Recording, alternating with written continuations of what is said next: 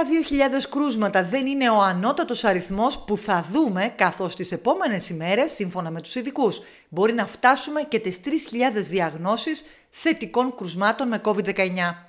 Τα στοιχεία τρομάζουν καθώς η πίεση στο δημόσιο σύστημα υγείας είναι τεράστια και η κόπωση των υγειονομικών δεδομένη. 12 μήνες βρίσκονται άλλωστε στην πρώτη γραμμή. Η αύξηση ανησυχεί τους ειδικούς, καθώς γνωρίζουν πως με μαθηματική ακρίβεια μεγάλο ποσοστό των νέων διαγνώσεων θα καταλήξει σε νοσοκομείο και ίσως και σε μονάδα εντατικής θεραπείας που δεν υπάρχει.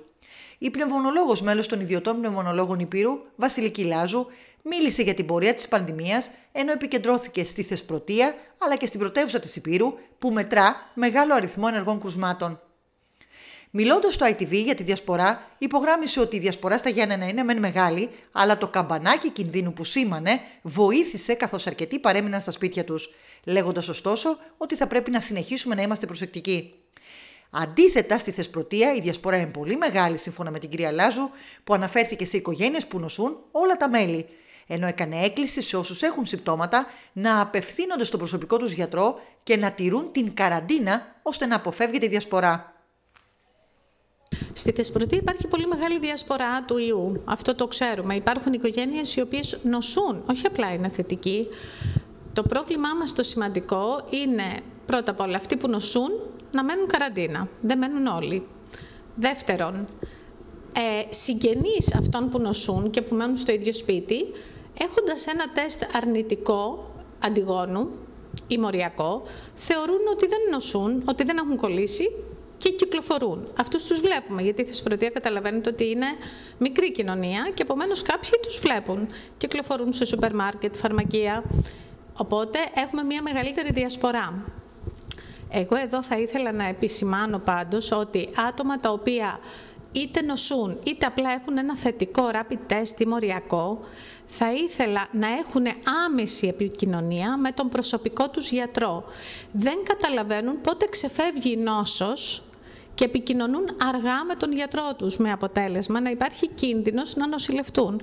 Όλοι οι γιατροί της θεσπρωτείας έχουμε τέτοια παραδείγματα, οπότε σας παρακαλώ μια άμεση επικοινωνία, ακόμα και όταν δεν έχετε κανένα σύμπτωμα, αλλά έχετε θετικό είτε μοριακό τεστ είτε rapid test, επικοινωνία με τον προσωπικό σας γιατρό για να παίρνετε τις κατάλληλες συμβουλές και πώς θα το χειριστούμε όλοι μαζί. Στο μεταξύ, σε ευρωπαϊκές χώρες, όπως για παράδειγμα η Γερμανία, εισάγουν σε εμπορικές αλυσίδες τα πρώτα τεστ ανείχνευσης αντιγόνου κατά του κορονοϊού. Εκατοντάδες Γερμανοί πολίτες έσπευσαν σε εμπορική αλυσίδα σούπερ μάρκετ που δραστηριοποιείται και στην Ελλάδα για να αγοράσουν τα πρώτα τεστ που πουλούνται στο εμπόριο, τα αποθέματα των οποίων εξαντλήθηκαν μέσα σε μερικές ώρες.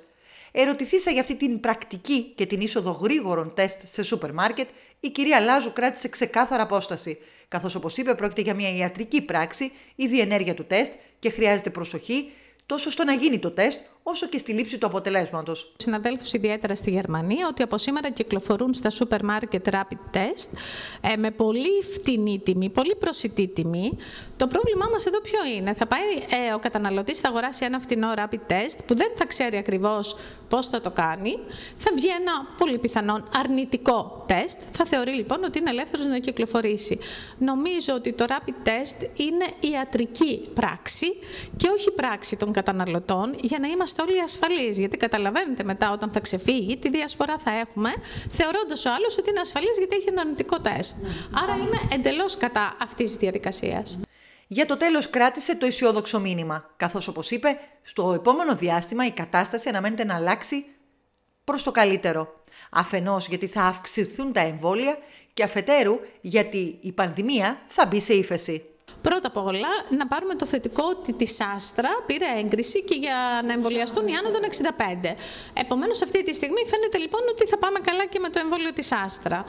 Ε, θα πω επίσης ότι κάποιοι οποίοι επιχείρησαν να κάνουν αντισώματα πολύ νωρίς, μετά 15-20 μέρες μετά το εμβόλιο της Άστρα, είδαν ότι φαίνεται να αρχίζουν ήδη να κάνουν αντισώματα. Αυτό είναι πολύ θετικό για ένα εμβόλιο στο οποίο οι πολίτες το αμφισβήτησαν και όχι οι γιατροί.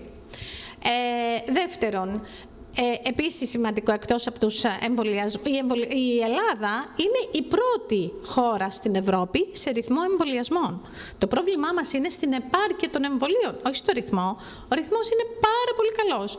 Έχουμε αφήσει πολύ πίσω Γερμανία, Γαλλία, έτσι. Να Επομένως, στο θετικό θα δούμε φως εκεί προς τον Οκτώβριο. Φαίνεται λοιπόν ότι οι επικίνδυνες μέρες είναι επόμενες 15-20 μέρες, όπου στατιστικά λένε ότι μπορεί να φτάσουμε και 3.000 κρούσματα την ημέρα. Αυτό είναι μεγάλο καμπανάκι. Είναι στο χέρι μας, βέβαια, να αποφύγουμε 3.000 κρούσματα. Από εκεί και πέρα όμως, φαίνεται ότι παγκόσμια από τον Απρίλιο και μετά έχουμε μια ύφεση της πανδημίας, που αυτό είναι πολύ σημαντικό. Προχωρώντας και εμβολιασμοί, θεωρώ ότι και με το ότι θα ανοίξει ο καιρός, το ότι και εμείς έχουμε μάθει λίγο να προστατευόμαστε καλύτερα, νομίζω ότι ο Οκτώβρης που θα έρθει, ο Σεπτέμβρης, ο Οκτώβρης που θα έρθει, δεν θα έχει καμία σχέση με τον περσινό. Νομίζω ότι θα είμαστε σε πολύ καλά επίπεδα. Και νομίζω ότι αυτό θα πρέπει να κρατήσει και ο κόσμος για να έχει ένα μήνυμα αισιοδοξίας.